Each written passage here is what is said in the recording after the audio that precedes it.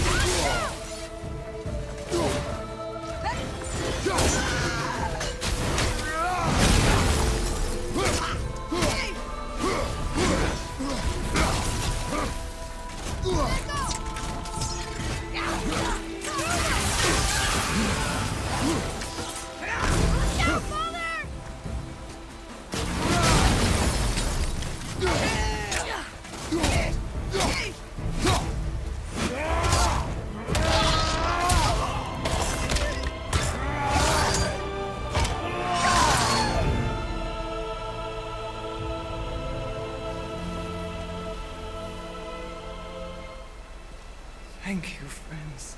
You have saved the Valkyries. Sigrun, how did this happen? Mimir, is that you? You have been freed, but Freedom comes at a price, milady. you speak truly. Countless winters we served the Allfather. But only through his union to the Queen did we ever taste some measure of freedom. But aren't you the queen? There has only been one queen of the Valkyries, the goddess Freya. When Odin severed her wings, I served in her absence, but it wasn't enough for the Allfather. He used an archaic piece of magic, corrupting my sisters. I tried to contain the damage by imprisoning them in places where they could cause no harm, but soon I lost myself as well. Sigrun, I'm sorry for being so worthless. I could have done something, or tried at the very least. What will you do now? I must reunite with my sisters. Together we can restore balance to the realms. You have the eternal blessings of the Valkyries.